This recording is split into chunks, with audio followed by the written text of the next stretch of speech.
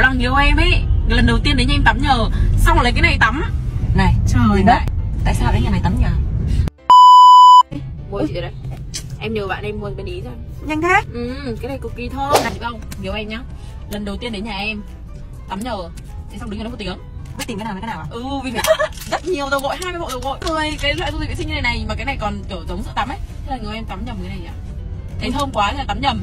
Thơm lắm mày ơi thơm mà thơm kiểu như là thơm nước hoa là thơm kiểu sữa tắm chứ không phải kiểu thơm như dung dịch vệ sinh. Bảo sao mà nhầm? em tắm bằng cái này ấy Nó thơm. Ừ. riêng mà thơm dung dịch vệ sinh mà thơm phải là cái này. Mày ơi thấy là kia ở đây ghi là pH 3.5 này nó sẽ mềm đúng không? Mềm mịn đúng không? Không là nó kiểu uh, cân bằng. cân bằng lại cái độ pH và đỡ khô ấy. Thì đấy là đỡ khô thì là mềm mịn Ừ, đấy. Đấy thì ai nó mềm mịn nghe nhạy cả chết đi được. Nó nó nhẹ nhàng. Sau sinh là rất cần cái này. Ừ đúng rồi đấy. Nhưng mà thực ra là em em chưa sinh em thích thơm thì em dùng cái này. Anh Long hay đến tắm thế có nhiều nhiều đồ là nó thế đấy mọi người. Tắm nhầm sang cả dung dịch vệ sinh luôn ạ. Mà cái dung dịch vệ sinh của Ý này mình không chỉ có một chai đâu Còn có hai chai cơ. Cái chai xanh lá bạc hà này thì đúng là mát Hợp với mùa hè, mùa đông dùng thì hơi lạnh. Còn cái chai thơm nước lên mà nghiêu mình tắm nhầm ấy Nó sẽ hợp với cái kiểu những ai mà thích thơm ấy Xong rồi dùng trong mùa dâu. Bởi vì nó rất thơm nên nó át được cái mùi dâu khó chịu. Còn độ pH toàn là 3.5 và 4.5 thì khỏi bàn với cái khô nhá Không khô, trời ơi. Mà mình thấy cái này ở Việt Nam ít ai biết lắm Bạn mình ở bên Ý chỉ cho mình mới biết đấy. Ở Việt Nam hình như top top shop cũng có đấy Nhưng mà chưa ai biết để dùng đâu Nên nếu ai thích thơm nhá thì biết làm gì rồi đấy.